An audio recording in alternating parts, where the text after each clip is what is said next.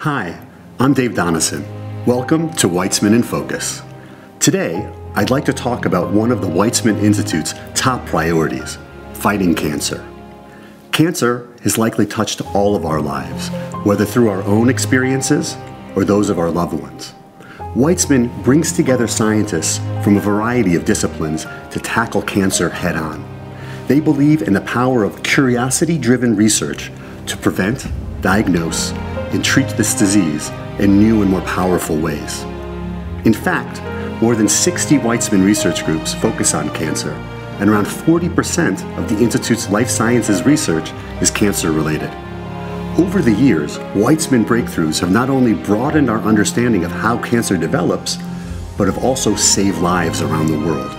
The Institute's many advances include an imaging technique to diagnose breast cancer without invasive biopsies, a method that enables bone marrow transplants between mismatched donors and recipients, and a light activated therapy that destroys prostate tumors without significant side effects. This remarkable legacy continues at Weizmann today, which brings me to a recent headline making discovery from the labs of professors Ido Amit and Amos Tanay. With the help of Weizmann's bench to bedside program, aimed at moving findings from the lab to the clinic, the scientists collaborated with hospitals across Israel to study multiple myeloma, the second most common type of blood cancer. Together, they identified a very small number of malignant cells in what is considered a pre malignant stage of the disease. The scientist physician team did this using a highly sensitive method of scanning blood and bone marrow cells at the individual cell level.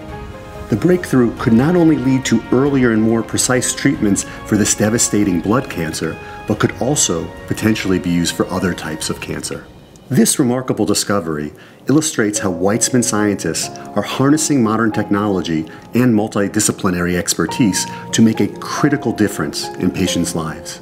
In the future, as the Institute develops new AI tools, technology and computer science will play an increasingly important role in addressing cancer and other pressing issues in human health. We'll keep you posted as this exciting medical research moves forward. Thanks for tuning in to this edition of Weizmann in Focus, and we hope you'll join us again soon. If there's a topic you'd like me to cover in a future episode, please email us at info at acwis.org. See you soon.